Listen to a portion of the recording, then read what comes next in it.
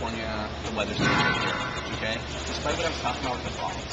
Um, what I mean by that is berries tend to ripen really quickly. You get a lot of sun.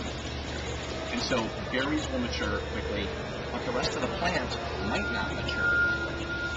So the stems and the seeds um, might ripen later. So the phenolic maturity of the entire plant is uh, is not ripening at an even rate.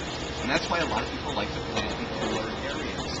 Because then the berries don't clump up with sugar as quickly.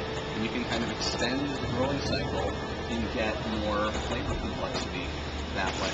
Um, I'd say this is particularly, but I think having the woody stems, Pinot Noir, and Syrah, because some people like to ferment Pinots and Syrahs on the stems with whole cluster. Um, we feel that it adds, um, first of all, the, the wood tannins from here can soften the wine a little bit, um, can hide or remove some more certain tannins, and it also adds layers of complexity. So a little more herbaceousness, so um, very more Burgundian, um, or some parts of the Rhone do that. All right, so what do we got here? This is Pinot Noir. Um, you can imagine when, when the grapes came in, basically it looks like a little corn on the cob. Some people have eaten some kernels off this corn on the cob. um, and what we were seeing earlier this year is that some of the clusters were literally um, shorter than my hand. This is very similar, but the berry structure was really small. It's just the day before picking this, uh, it rained a little bit in the Anderson Valley where this came from. So um, this came from a vineyard called Hell of a Vineyard. uh, yeah, Hell of a Vineyard. Uh, and um, so the berries kind of plumped up a bit. Since the Pinot tends to be really densely packed, uh, rain is actually dangerous with Pinot. Um, Pinot, Chardonnay, like this, the grapes are really tightly packed. Imagine if we go back to maybe this thing, the berries were this small, right? Now, if it rains and it's a really, really tightly packed cluster, there's no place for those grapes to go, and what happens is they burst. There's no place for them. And since the grapes have got yeast on them, it has bacteria on them. And so Pinot is, uh, is definitely, you know, more susceptible to rot than Merlot or Cab Sauv, where the wind can just go right through and dry this fruit out. Pinot Noir.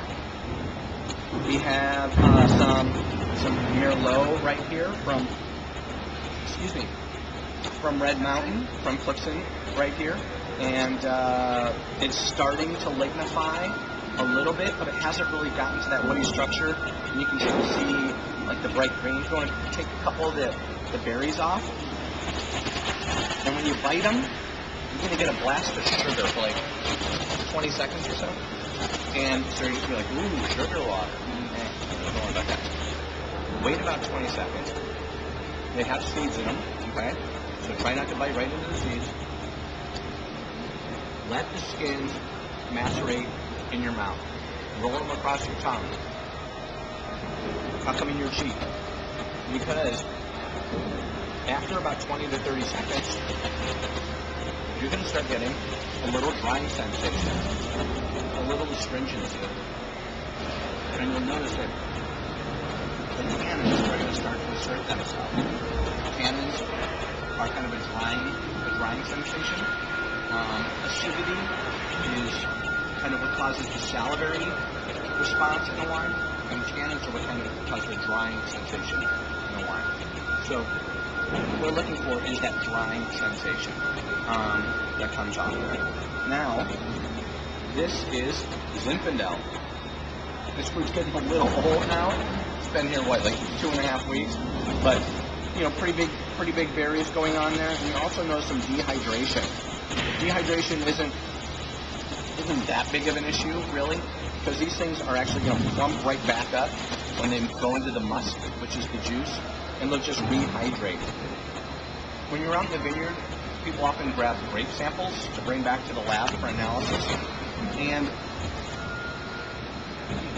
you kind of take that with a grain of salt because it's hard to get juice samples out of these raisins.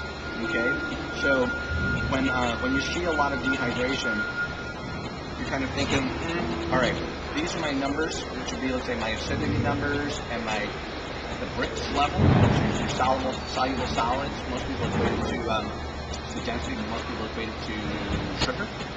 Um, so these are my sugar numbers, but always kind of hold off on that, kind of bump it up a little bit because once these rehydrate, they're going to release their sugars into the must, and your your numbers are going to be much more accurate in terms of how much sugar Um, we're going to be doing quite a bit of spitting today.